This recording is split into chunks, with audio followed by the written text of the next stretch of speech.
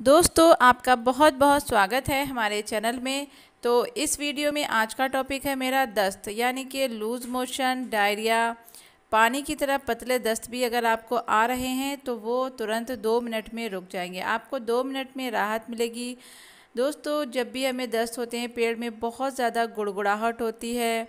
अब ऐसा लगता है बार बार टॉयलेट जाएँ, वहीं बैठे रहें, लेकिन क्या करते हैं दोस्तों? इस तरीके से हमारे पेट का जो पानी होता है, सारा निकल जाता है, हमारे बहुत ज़्यादा शरीर में कमज़ोरी आ जाती है।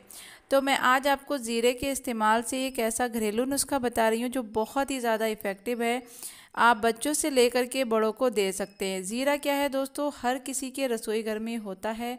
बहुत ही आम सी चीज़ है क्योंकि ये किसी में किचन में जो है सब्ज़ी और दाल वगैरह में तड़का देने के काम में आता है ज़ीरा। तो हमें एक पैन लेना है, उसको रखना है अपने गैस पर, उसमें एक गिलास पानी को डाल लेना है। पानी को हल्का गर्म होने देना है। जब तक ये गर्म हो जाएगा तो दोस्तों हमें एक छोटा चम्मच ज़ीरा भर करके लेना है। ज़ीरा क्या करता है, हमारे पेट के दर्द को, लूज़ मोशन को, पेट में गुड़गुड़ाहट को, सबको ठीक करता है। अब इस ज़ीरा पानी को इसको अच्छे से बॉयल करना है।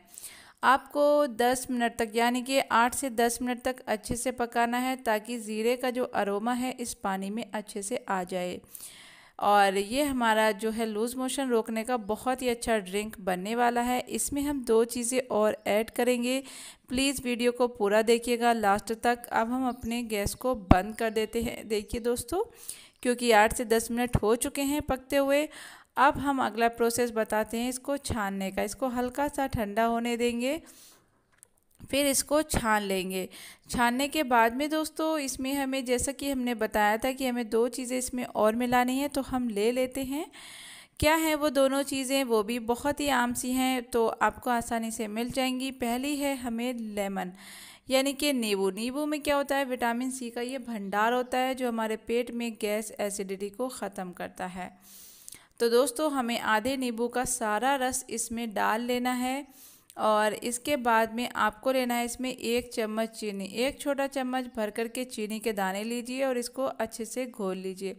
घोल करके फटाफट इसको पी लीजिए तुरंत। तुरंत पीने के बाद में आपको क्या करना है, सीधे लेट जाना है अपने बिस्तर पर। सीधे लेट करके आपको पेट की नाभि में प्याज के रस की दो से चार बूंदें डालनी है।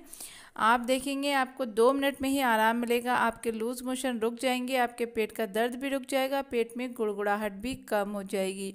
फ्रेंड्स बहुत ज़्यादा असरकारक ये घरेलू रेमेडी है तो आप इसको ज़रूर करें जब भी आपको लूज़ मोशन दस्त की प्रॉब्लम हो तो आप इस रेमेडी का इस्तेमाल करें। घर की चीज़ है और ये आपको कोई नुकसान भी नहीं देगी। तो दोस्तों, मिलती हूँ नई वीडियो में।